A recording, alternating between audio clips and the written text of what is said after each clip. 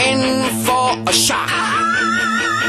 In London town streets, when there's darkness and fire. When you least expect me, and you turn your back, I'll attack.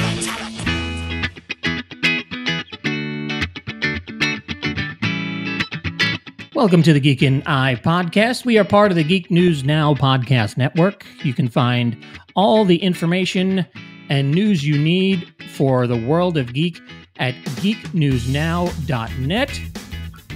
We are also on Facebook at Geek and I Podcast, facebook.com slash Geek and I Podcast, and you can find the Geek News Now at facebook.com slash Geek News Now. We are also sponsored by Metallic Dice Games for everything you need for your gaming experience. Use code GNN at checkout and save 10%. Let's bring him in, my co host, Mr. Jeff Dickinson. Jeff, how are you, sir? Dude, I'm feeling blessed. Um, as you know, this last Monday, December 7th, was my birthday. Now, as friends out there in the world, eh, you you know you know you got some cool friends, but when you start getting the shout out, especially on your birthday, how you may have changed your life without you knowing it. That's awesome. That's pure awesomeness, man. So I was blessed this last Monday, and thank you, especially you, sir, for giving that shout out. Oh, happy birthday! So, do you want to introduce our uh, our our next guest this week? Oh my God! Okay, check this out, guys. This is a personal killer friend of mine. I've known this dude since the 90s. He is an amazing soul. Well, let's welcome the male god in the making, Patrick Kennison. Hello. Good, Thanks good for having me on. Right on, brother? Hell yeah. I'm hungover, but I'm here. Hey, thank you, sir. Thank you. Oh, anytime, brother. So, um, where where are you now, um, Patrick? Jeff said you're from San Antonio, but um, currently you're in. I'm in Los Angeles. I've been out here since 2003. Okay. And uh, right now, I would have been on the Alice Cooper Lita Ford tour, but that's not happening in 2020. That's supposed to be 21 now. So I'm home, uh, keeping myself busy and just trying to keep from going crazy like the rest of the world. Staying safe, I hope. staying safe you know i tell my friends i say you know i i don't want to be paranoid and i don't want to be wreck here's paranoid and here's reckless i'm somewhere in between that when it comes to to, to this whole thing i'm not going to be paranoid because my life doesn't work like that but i'm not going to be reckless either and just act the fool you know Right. So you're kind of Reckonoid. i'm a reckonoid i like it There you go. We're gonna we're Right gonna that's the name of the new album, Reckonoid. Yes So I Well, want. Patrick, let me let me do this real quick. Sorry, John. ahead. Patrick, now since we've known each other for a very long time, I want to bring the world to a particular moment in time on when the first time I met you, and that was at Krabby Jack's in San Antonio off of 281. You're hanging out on the patio, you're jamming, you're doing something cool and special, and we talked that night. And what was cool about that was when we talked, we shared a bond of music in such a huge level. Now, sir, my sir, we talk about our first albums, the ones that put us on that track level. And what I want to do here is share two with you. I know we all talked about this. My mom has the original. This is a re-release uh, of the Beatles. Back here, you can see the two labels. This is the Capitol version. And albums are so important to our world because you got some cool stuff when you open them up. They had cool stuff on the back, the lyrics and whatnot. But what's cool about this particular album, it had this inside. Now, these days that doesn't exist. And my second one, being Boston, this is my original. Once again, open it up, has some cool stuff there. And what I dig the most about this particular album, and this is the one that I play a lot. If you look here, not only do you get the lyrics, there's a guitar, the uh, like like a blueprint. oh that's That's kinda awesome. killer. What was your influences and the albums you picked up that meant the most to you? well, this was the first heavy metal album I heard. I don't even know if they called it heavy metal at the time. My older sister played this on her turntable, and growing up in San Antonio, Texas, there was a uh, uh, a DJ called Joe Anthony that would break bands. He broke Rush, Def Leppard, Judas Priest before the rest of the country knew what that was. Um, so I heard this when I was about seven and blew me away. As much as I had loved Cheap Trick, Kiss, and ACDC and Aerosmith, this had a, a, a crunchy guitar, fast drum thing that appealed to me. And I remember looking on the back of the record when I was seven saying, This is what a badass man is like. This is what it must be like to be a man. How funny he turns out to be gay later, but it doesn't matter. He was a fucking badass from the start. And the vocals, oh, I mean, I just, this, this started it all. And then years later, of course, I was a crazy fan. This came out, and I was like, okay, this is the best music people have ever made. Everybody says Black started it. I, I think Judas Priest was was the quintessential heavy metal band, even though Black Sabbath started it. Yeah, no, no I most certainly agree, man. Judas Priest. When I heard the Ripper for the first time, man, that spoke to my soul. And by the way, the advice my mom gave me, we talked a little bit about this before. You gotta put on the cans, man. For you kids out there watching this video right now, throw on the headphones and enjoy the music the way it's meant to be. Now the the the um the Judas Priest song that really stands out to me is probably because of I would say MTV had the influence on me and I had just um seen The Road Warrior. So to see the video for you how you got another thing coming, you know, and playing it we we had just purchased our first stereo television back then and I think I blew out the speaker the first time that song came on MTV. Uh, and my dad would, you know, he would never let let it down. You know, let me down. He's like, oh, the TV would sound so much better if uh, the speakers were working right. but uh, yeah, my my my two aren't really. Um, I I wouldn't say they're like heavy. As you can see from my room, I'm more of the movie person, so my influence is more of a soundtrack, John Williams, um, Jerry Goldsmith, old school um, composers and stuff like that. But as far as rock, um, this one, this one here was was an important one to me uh, growing up, um, just because of the sound that it had uh, from the uh, you know the Mr. Roboto sound, and as far as the one that got used the most when I was little on my you know little tiny twenty dollar uh, record player is is this one, um, the Beach Boys greatest hits, and boy, this this thing is so worn. I mean, you can see from the just from the missing pieces of of the of the album cover uh, this got a lot of use and is is something that was always usually hanging on my wall in one of those uh, protective cases and and um, just hasn't come out of the garage until now. This is the first time it's it's come out of the garage in 20 years, I think. So, um, wow, yeah, it's good stuff.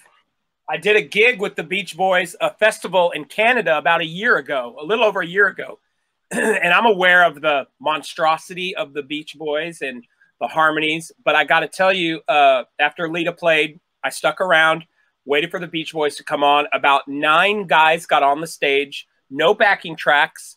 Um, uh, original, one original guy, and then like maybe his son and and some other people.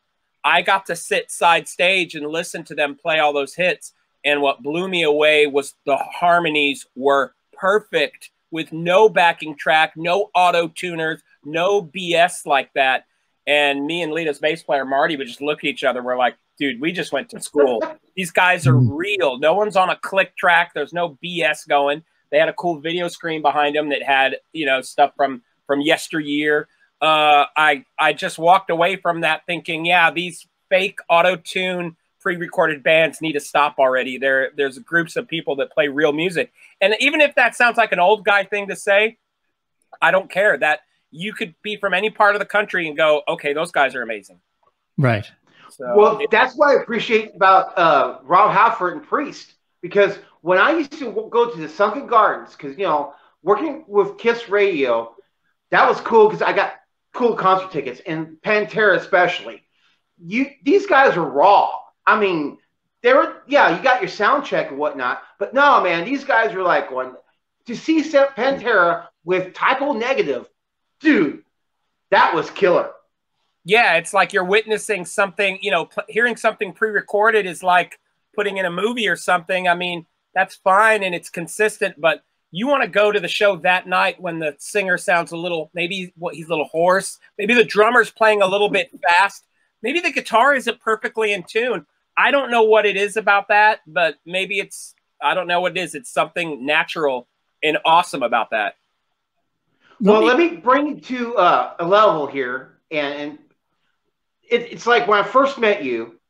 We'll, we'll go back to the Krabby Jack days, if you don't mind you were hanging out, and I I literally sat back with you as we were kicking back with some drinks, and I was telling you, dude, you got to be in a bigger band, and you're like going, I have one. It's called Union Underground. We're coming up. That's right before you signed that contract with Sony. Let's talk about that for a little bit, if you don't mind. Okay. Uh, I was without tooting my own horn. I was always that guy who had a band that would win the battle of the bands. You know, ever since middle school and then I would win the guitar competitions.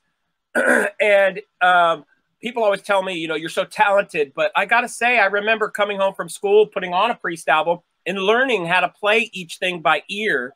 Uh, and my mom was super supportive of all that. And I just kept working at it, took guitar lessons, and it was, you know, other kids were fig- figuring out how to finish Super Mario Brothers. I wanted to know how to play all of Eruption. So I just kept working at it, working at it, working at it. And um, by the time I got out of high school, I realized I could make money playing music in a cover band, the Max from San Antonio. I got a paycheck to, to play music. And I had they would have me sing the harder rock songs and everything. And at some point, uh, I didn't want to travel as much because my other friends were playing acoustic duos and trios at places like Krabby Jack's, bringing home some of the same money. And I was like, oh, I can do an acoustic trio and have more time to work on my original band, Union Underground. Perfect scenario in my head, can pay bills and work. So that's when you and I met.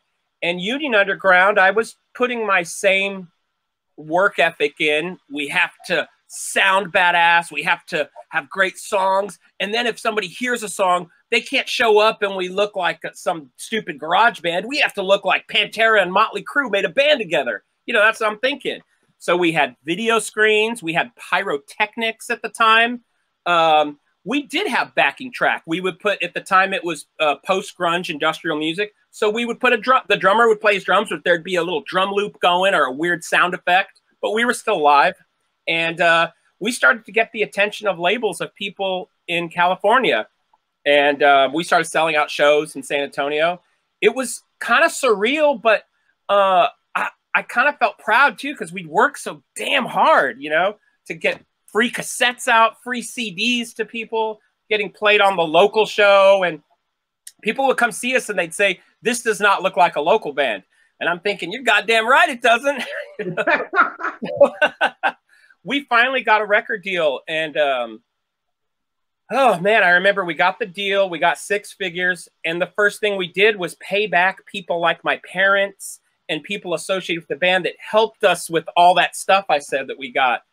And um, that was kind of, you know, what we just what we did. It was the end of the 90s. Now you, well, you when I walked into Musicland and saw your cassette, literally, Musicland, shout out to old school San Antonio in uh, Windsor Park Mall. We were talking, and you said one day my cassette's going to be out there in the music world. And when I saw it literally next to the cash register, I was like, Patrick finally made it. You know, you didn't tell me. By making, I found out about I, your... by making it, I had to pay people back a lot of money.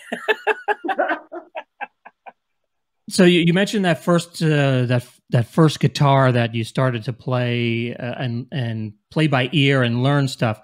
Um, now I have a I have a picture here of that rocker to be uh, with his his first guitar. Uh, so could you what could you tell us about? Uh, oh wow! What could you tell us about this?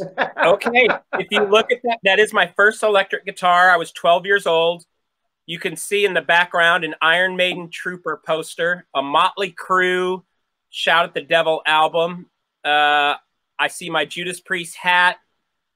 I was just, and then I'm, I'm, I have a, a guitar magazine. I learned how to read tablature, and I was just at that point right there. I was playing the intro to every heavy metal song I could find. So I played "Breaking the Law," I played uh, "Shout at the Devil." the maiden stuff was kind of tough. I remember trying to go ba ba ba da ba ba ba ba da ba ba ba ba da ba ba ba ba ba ba ba da ba ba whoa whoa it's a lot of notes, a lot of notes. So I took lessons and the teachers would break it down for me. You know, here is the scale that that is derived from. Uh, here's a pull off. Here's a hammer on, which felt odd to me at first. It's so weird. I, I, I thought I pick everything. They're like, no, you, you know. And uh, I would just sit in my room, and my mom would just she she was happy that I wasn't doing drugs. She's just like, okay, he's this is what he mm-hmm. does. And uh, I guess by the time my bands would start playing, about a year or two after that picture, people would be like, oh shit, these guys can really play this stuff. Mm-hmm. And um, that gives you, I don't know, it gives it's an addiction almost. Like, wow, I can play Iron Maiden and Judas Priest. Can I write my own songs? Ooh, scary. Oh, whoa, that one kind of seems kind of cool. It's it's like somebody giving you a hundred thousand dollars. That's never enough. You need a hundred million dollars. So you keep trying to figure out how to get that next hit again. Right. Let me show you a picture of, of a guy with a guitar, his first guitar, who never went anywhere with that guitar. Um, yeah. I that that thing. Uh, I would play it all the time, and I just couldn't get the right sound out of it. So I would just keep cranking it down and cranking it down until and then one night I'm in the it's it's like the middle of the night and I hear and the whole bridge just just pulled up from the back of it and uh, I never played the guitar again. So I always tell people acoustic guitars are scary at first because the strings are like two inches off the fretboard. That's like trying to type on a stone keyboard. It's really tough. Uh, so I always tell people you got to bring the action down. The neck has to be straight. It'd be like driving a car that doesn't have power steering, you know, and mm-hmm. and that can turn people off. So you, you want to hear something funny? Is that my first guitar was a t- six string, and you're way better, by the way, than I will ever be. And because we we, talk, we talked about this in the past, but I'm not gonna bring that up. But you're talking, you're talking about when I decided to go from, you know what, that t- six string is cool but let's play that 12 string. And I got really good at the 12 string. But you know what? You can only level up, but your talent has got to be at a certain point. And I remember, now we're both Catholic school boys, went through those days and, and hanging out. And when people ask you, what's your favorite album? And I was would say, Iron Maiden, Number of the Beast. That's you gotta check that out. But then again, the nuns were around. They're like, going, the beast? It's kind of hard to be a rocker when you're in Catholic school. Now, about your Catholic school days, Patrick, do you mind sharing a funny story about that? Oh, I got a lot of them. I was actually kicked out of Catholic school. Um, they threatened to kick me out. My mom said, "Well, fuck that. I'm taking him out myself." I used to wear, I would wear my older brother's concert shirts underneath my uh, my uniform, and I'd even have the pins sometimes on there. And wow, you know, yeah, I was into the Number the Beast album and uh, I remember Diary of a Madman, and they freaked that I even had that. Shout at the Devil. They found that in my book bag. There was a parent teacher conference. They asked my mom who got Patrick these albums, these satanic albums. My mom said, I did. And so next thing you know, I'm in public school and uh, it went a lot better. Catholic school was terrible for me. It was very, I guess I'm going to use the strong word and say communistic. It didn't work. They did not like my hair touched my collar. They said I had to be cut. I told my mom I don't want to get my hair cut. Um, it just was bad. It was bad news. And, and maybe that rebellion at that age of 12 was what I needed. I don't know. But that influenced your music, right? Absolutely. I'll write a song today thinking of how I felt as a 12 year old outcast. Absolutely.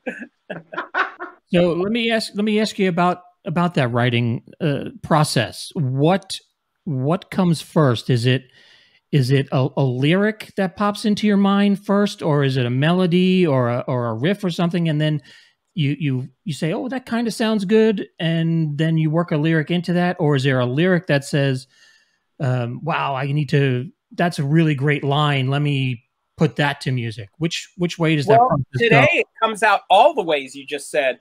When I was a kid, up through my twenties, you know, I mostly just concentrated on guitar, so it was always a guitar riff. Let me get this riff going. Let me see if I can program this drum machine to work with this guitar riff.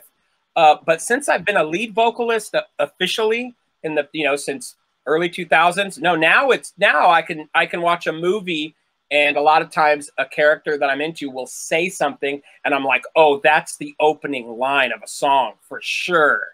You know, and so, or I'll see something written somewhere, and I'm able to come in that way. I don't have to have the music. I could put the music around the vocal, but it took years for me to do that because I always thought music came first. And uh, as a vocalist now, no, I, I, can see a group of lyrics or a group of words and think that might be saying something the the well as for me Ryer, you know when i write poems i think about you brother because we, we talked about this before like i said uh, where you start writing and for me i start with the words and then you sir i think start maybe if correct me if i'm wrong you said normally you have a melody in your head before you start writing the words is that right it varies it can be it, it, it can come any which way i at, now that i'm older, I open myself up. I'm like, it doesn't have to be the melody first. We can construct a melody from words. We can construct words from melodies, uh, and we can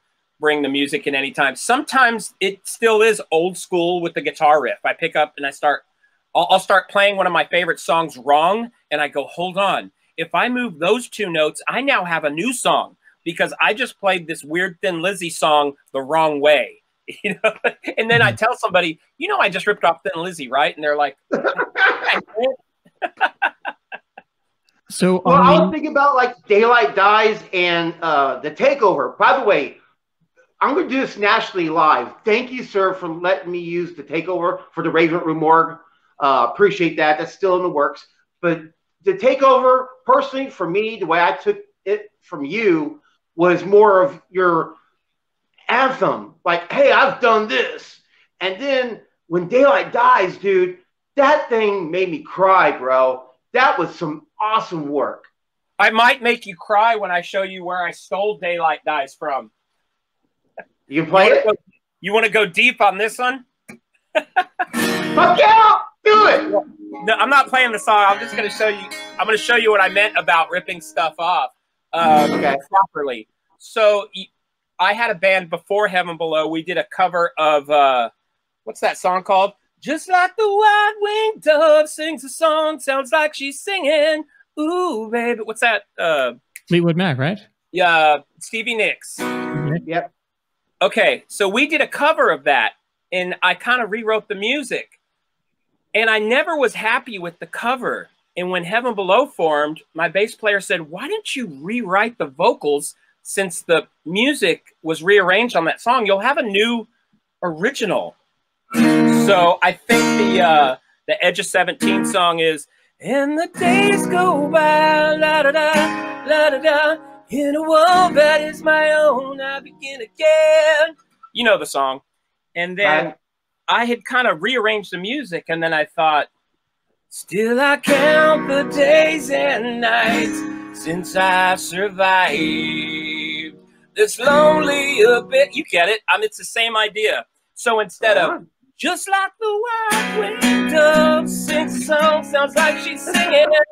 I was like, no, that's not what it does. It goes, I can't live without your love, and I can't die. So I guess the point I'm making is you can extract melodies and chords and grooves and come up with your own thing. And you probably would never have known that Daylight Dies had originated from Edge of 17. Definitely didn't see that coming. Yeah, some people would call it a ripoff, but I would call huge bands that are successful ripoffs of something. so. Mm-hmm. Well, we, we we appreciate the bands that we grew up with and some of the music that we hear, especially you know that touches our soul. That's a big thing about music; it touches our soul. And what's cool about this thing is that you now, sir, are touching other souls that are inspiring musicians, and you are not only an influencer and a musician, but you're going to be a male god one day. Trust me. Judas Priest better hire me then. so I'm still how, waiting for you to do the Judas Priest cover. how, how does it um how does it work like when you get a uh, a gig with Lita Ford? Do do you go out and audition for that, or do they just have your phone number and or you know agents that are that are similar and know each other, and they just you know grab the phone and your your phone rings and it's Lita saying, "Hey, you want to join the band?" This one worked like this. Um, I've always been a networker to the days of Crabby Jacks to, since probably right after I got kicked out of Catholic school. I always networked with people. Um, so it was early 2000s. Union Underground had our deal. We were selling 5,000 units a week, which meant something at the time. And a friend of mine worked at Peavey, and I met him when he worked at Peavey, and he said, "Hey, I play guitar too. I took lessons from Joe Satriani, and I jammed with him at the Peavey uh, uh, compound in Meridian, Mississippi. And the guy's an amazing guitar player." Fast forward 10 years later, the guy is the president of BC Rich Guitars. This is why no you always, this is why you always make friends with everyone around you, not just people that are already in positions. You make friends with people that might be going into positions. And uh, he calls me and says, "Hey, uh, now that you live in LA, you know Lita Ford's looking for a guitar player." I was like, "Really?"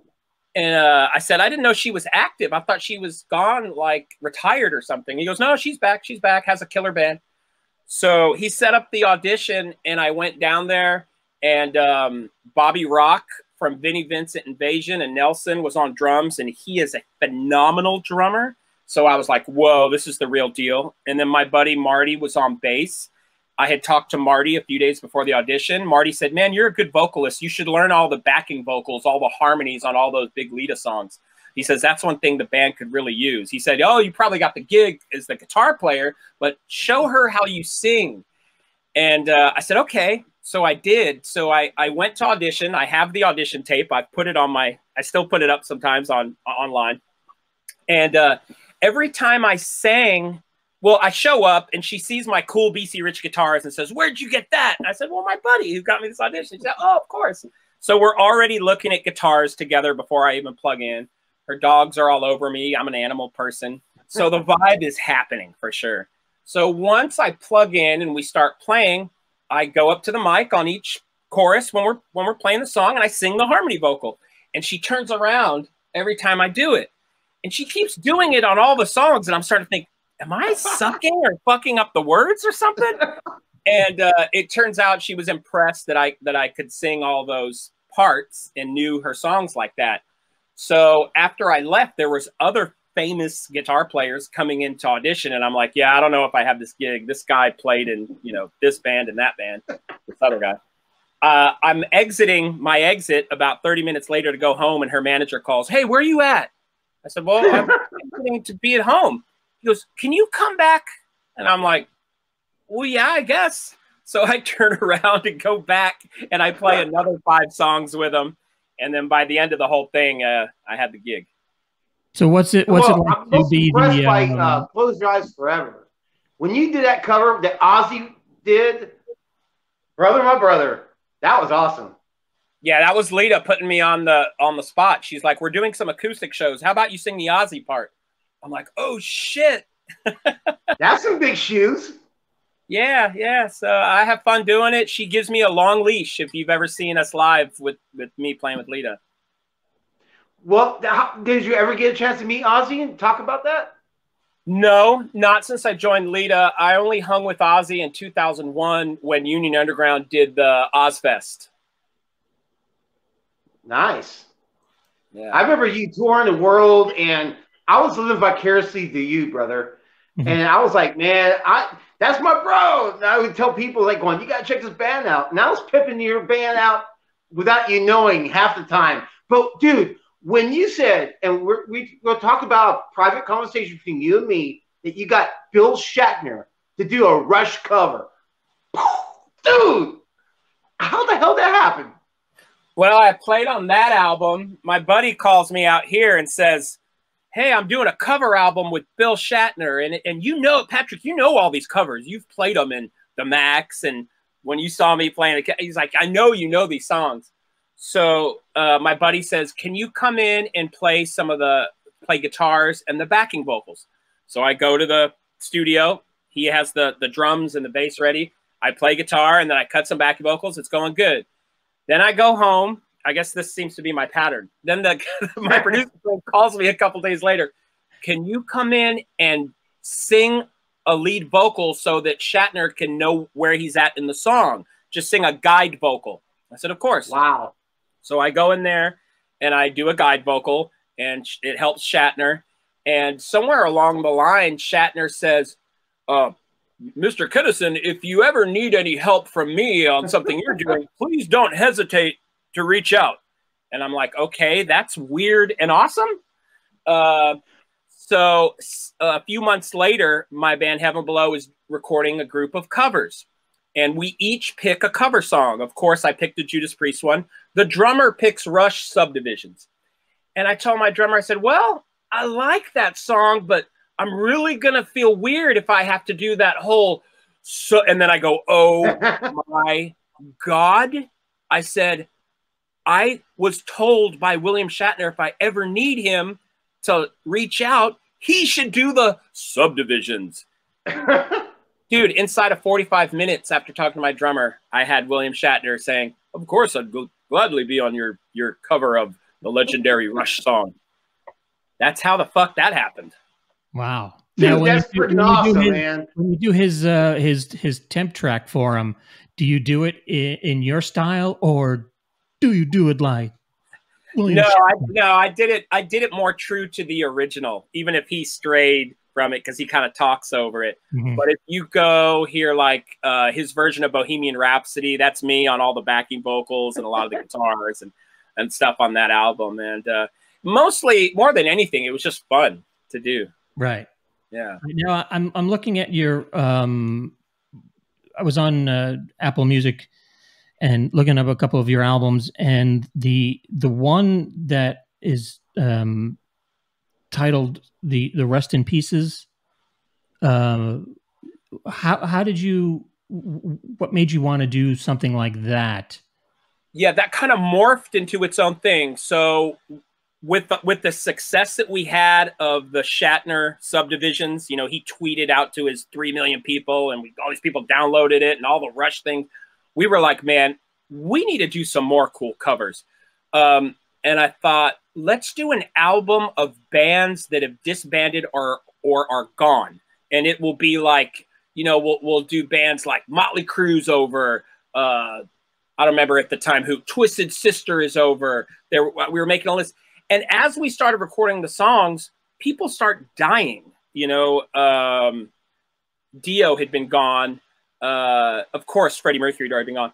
And then we said, hold on, I think this is going to be a an album to tribute everyone who's passed, not bands that are disbanded.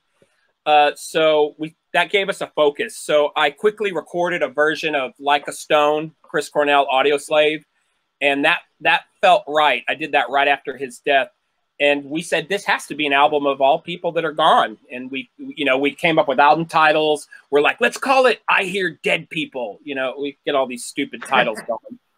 Let's call it rest in pieces tribute to the departed. And uh, it just kind of it made a life of its own. We made a list of all these bands. And i remember us saying let's cover one of the biggest rock songs ever uh, that a gazillion people have recorded, but we have to do it our own style. That's the challenge, not songs people haven't heard of. I said, well, We Will Rock You is probably one of the biggest hard rock songs ever. Uh, and then we're like, oh God, do we really have to go boom, boom, clap, boom, boom, clap? Everybody's done that. It's done. so that's when we came up with the whole fast hard rocking version that Queen kind of did live back in the day, but we made ours a little more Judas Priest sounding. Uh, and the album kind of took care of itself. It seems like once we had the list of all the the, the dead people that we love, it started it started the track listing became apparent.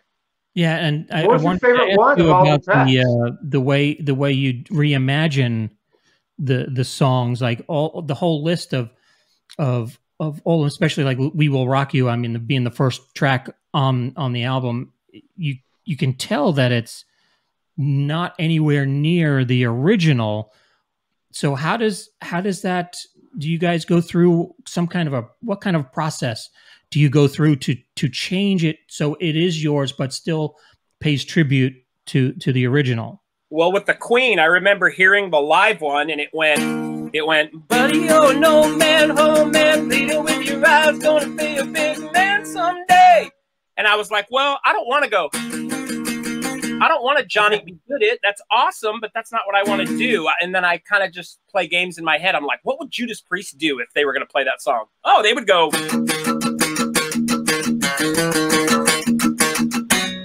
You know, I, I of course on electric, I didn't do it on acoustic, and mm-hmm. it sounded big through my amp. It goes chunk up, chunk, chunk, chunk, chunk, chunk, but almost like a Rob Zombie vibe. Buddy, you're an old man, poor man, pleaded with you. I was like, yes, that sounds like something I want to hear when I'm drinking alcohol. And I took it to the band and said, can we do this? And my drummer, of course, is like, oh yeah, we can do that. And he starts playing the beat. And then we, at that point, we could have made it an original. We could have just put new vocals over the music like we did on, on Daylight Dies. But we said, no, let's, let's do We Will Rock You as if we wrote it. And uh, other songs like the ACDC or the Pantera, those we left intact. We said we can't take every song and rework it to death. Let's do some that are that are purposefully sounding like the originals. And we did that on a few of the tracks. So that way we kind of had a little variance on the record. And I, you know, going going through that album, I, I, I really wanted more information on each song, and you know, I, I really I really missed the the liner notes. Like Jeff had said in in in you know showing his us his records, you know to to to know the backstory of how each one uh, you know affected you guys. Um, it's something that's really that I really missed uh, listening to that album because you know I, am not a like we had mentioned I, I'm not a heavy rocker. I do I do enjoy a good you know head bang every now and then. Um, Priest is one of my favorites. You know, Zeppelin and uh, you know the, the, the basically the standards. Um, but I really wanted to know how each one you know came about. Do you do you find that liner notes are something that's missing nowadays? And how do you get around doing um, liner notes? Is there a way? Well, you know, I guess honestly, I feel like as old school as I am, like you guys are with the vinyl, um, I'm by no means cutting edge guy. I don't know. I barely know what uh, Snapchat is, you know, and this kind of crap or TikTok. But I do find myself getting, I guess, stuck in the well, get it out to the digital mediums. And I, I can't always think, oh man, it needs a digital booklet. I remember we did digital booklets in like 2010, 12. I don't even know if those are a thing anymore. Uh, so sometimes I'm guilty of getting swept away in what new technology does. So when somebody like you brings that up, I have to immediately say, yeah, he's right. I wish I wanted to do that too. Maybe that's for the vinyl release. maybe that's how we're going to remedy that situation. You know, maybe maybe we'll put out a cool little box set of all our stuff and it'll have a book that could have stuff like that in it. I I I am totally all about that. I was the guy looking at the Iron Maiden albums, finding every little tiny thing in the artwork too. You know. Well, the coffin thing you did, and I appreciate, by the way, you sending that to me. The whole coffin with all, I can't remember what album that was, because I've had pretty much almost every album of yours, except for Recipes. Another coffin coming, so watch out. but that, that was awesome. Now, how did you decide to do a coffin? Being a huge Kiss fan when I was a little kid, Motley Crue, Metallica, cool stuff. Um, I I just had this idea. I saw somebody like the Misfits do a coffin, but it, it, it was just cardboard. It, it, was pretty cool, and uh, it was Halloween, and I was on eBay, and I saw this guy selling this coffin that you could put your candy in, and you could lift the lid off it like a tomb, and it was real wood. And I was like, damn, that looks cool. So I already started thinking I could put my own artwork. We could be inside the coffin dead. I, my brain just started going wild. I reach out to the guy.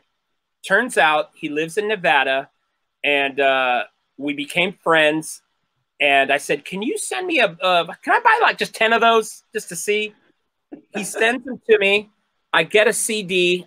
I'm like, a CD almost fits. I hit him up. Can you do a, a, a, cut so that a CD drops in it and kind of floats in the middle of the coffin?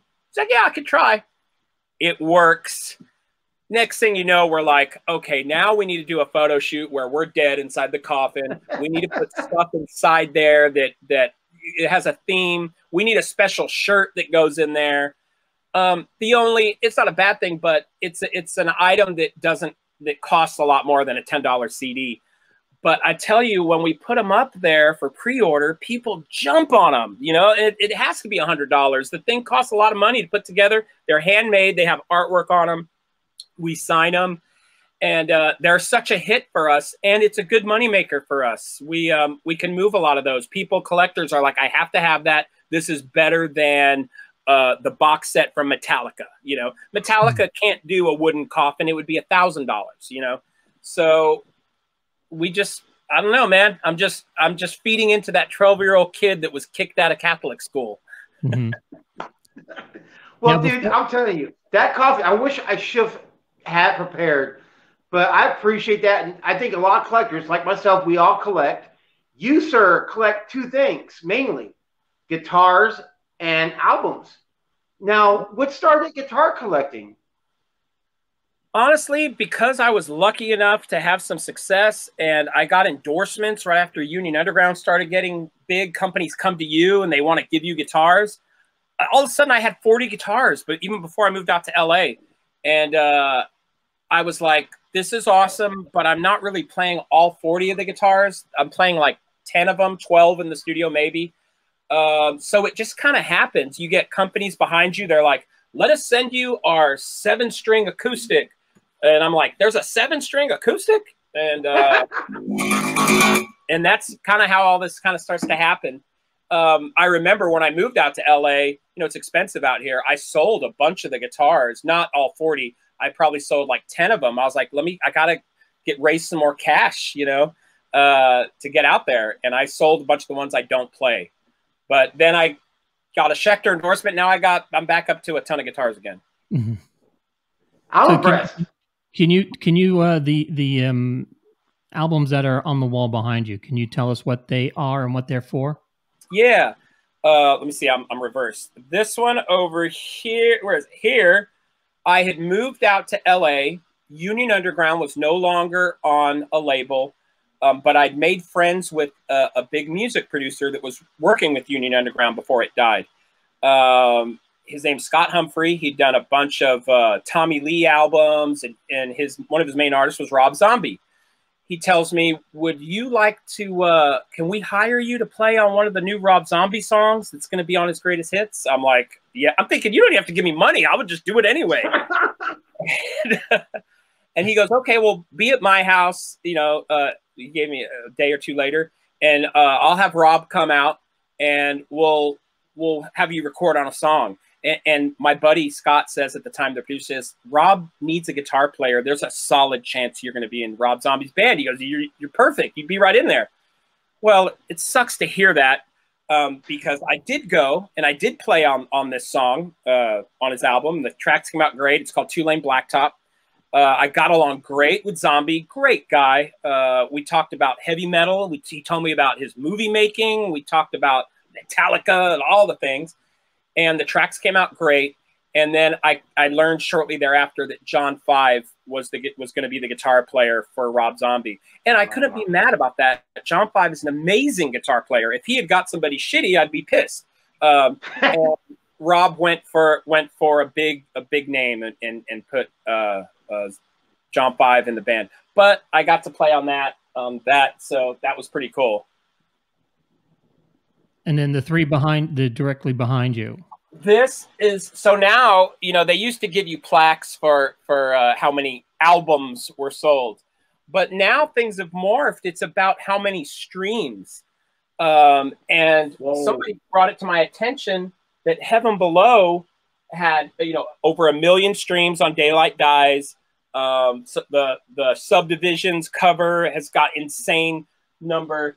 And so we ended up being able to get a plaque for over 3 million streams of the Heaven Below catalog. But I got to say, it's closer to 5 million today. So I'll take it. So That's bad. yeah, you know, it doesn't pay the same as people buying a CD, but I'm just happy. If I was doing this for money, I would have quit a long time ago. Um, so I'm happy that people stream Heaven Below the way they do without a Sony Columbia or without a, a, a Rob Zombie or a huge manager. So I think that counts for a lot. And then, um, yeah, so it's the Zombie, the Heaven Below streams, and then the William Shatner. It debuted at number one on Billboard when that came out, that thing, and they gave me a plaque. I have another plaque coming for YouTube, a million subscribers, or I don't, I don't even know what it's for, but for the William Shatner. I better find some more wall space. And, Yeah. and then in other parts of the room, I got some of the Union Underground ones. And, you know, at first I was like, God, it's so braggy. Look at me, you know, to even have that shit up. And then I thought, you know what? Fuck it. Yeah, it had that success. I shouldn't downplay it either. You know, you shouldn't you shouldn't uh blow the whistle on on on someone having more success or no success, whatever. So I'm okay with it. Yeah, I think there's a difference Well, it's between well deserved, having dude, because hanging on your wall, you know, and somebody talking about it when they ask you, then you going, "Hi, my name is Patrick, and here's my gold album." Yeah. you know, it's like you hand it out like business cards. Yeah, exactly. like I was going to say, it's it's well deserved, bro, because you're the most talented person. Well, let me rephrase that. You're the most talented motherfucker I've known that picked up a guitar outside of Eddie Van Halen, which I met personally. And I thought about him when I hear some of your music. Did Eddie ever influence you in any way, shape, or form? Because that's the reason why I picked up the guitar. I remember uh, my older brother uh, uh, playing Van Halen one. Um, I liked it a lot. I liked the way the guitar sounded. I remember as a little kid, I didn't understand David Lee Roth doing the wow, wow, yeah, ooh. I was like, what the hell is all that? What are those sounds? Is he, does he have Tourette's? Um, the time I was more into Judas Priest, but I remember loving the guitars on Van Halen and the drums and everything. And I wasn't playing an instrument yet, but I'd go on to learn that. Wow, talk about guys that can play in a room. Must have been a great product uh, to produce Van Halen. Must have been amazing. You just set up microphones and hit record. Well, the two guitarists I think about a lot when I hear your music is Eddie, and of course, you know, uh, Ozzy had a really talented Randy Rhoads backing them up. But would you mind, sir, playing an original music that you wrote? Let me see. What do I play? I got hangover voice. I'll get. I'll give you. Uh, give you part of something. Whatever, whatever speaks from your soul. How about that? Oh, well, today I'm hungover. Uh, I'll play you part of this one. So after I moved to LA, even before I had Heaven Below, uh, I lived with my buddy. His name's DJ Ashba. You know him from Guns N' Roses and Sixx:A.M. and all that. And we wrote songs together. And um, he didn't write on this one, but I remember this was one of the first songs I wrote getting to Los Angeles. Um, and in San Antonio, it's like, wow, Union Underground, big deal. Then you go to LA and they're like, oh, yeah, I think I know who that band is. And I used to tell uh, DJ and my bass player, John Younger, I'd say, yeah, we're the king of nothing, you know? And uh, anyway, this song, I'll, I'll, show you. So we started writing this. Uh,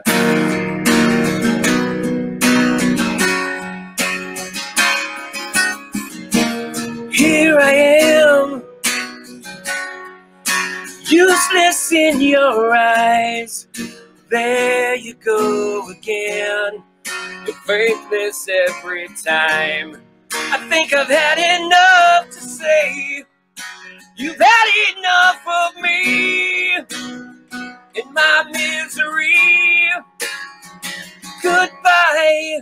I'm healing, I'm saving, but still I'm not believing. Denial comes to me. No reason for feeling there's something else controlling this other part of me. So this king of nothing sets me free. Yes, so that was one of the first songs written. Fuck yeah. The king of nothing. Fuck yeah. You think you're cool in your hometown until you live next door to a gazillion other rock stars. Mhm.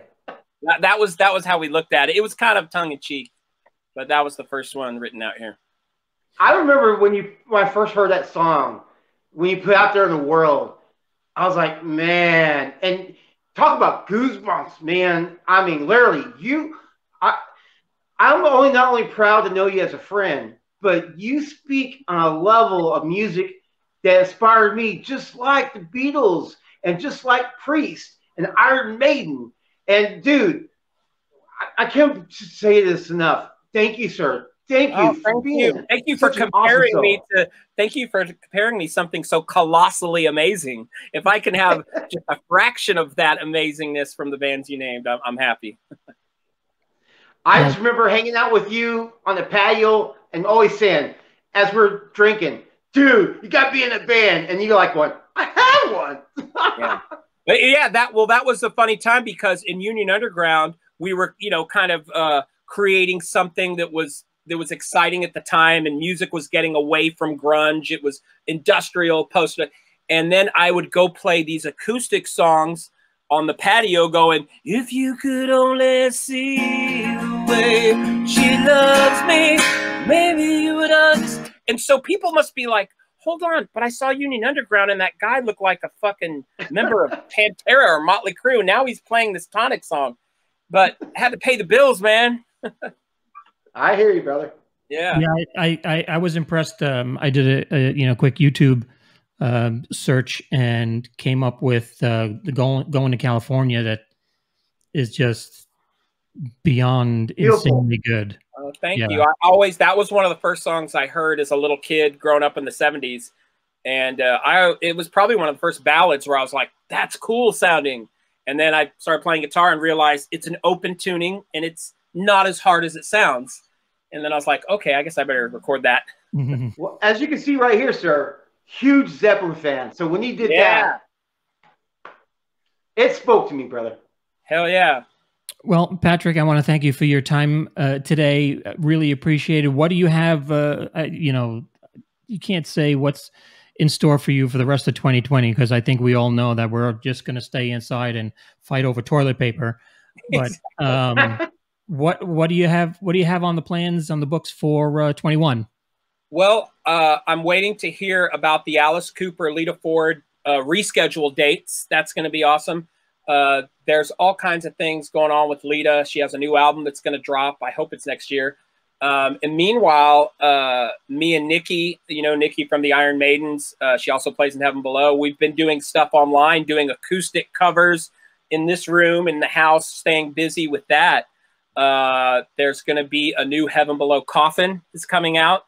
Uh, we're making noise about a Heaven Below vinyl release of a, a Nice. greatest- like kind of like a best of Heaven Below.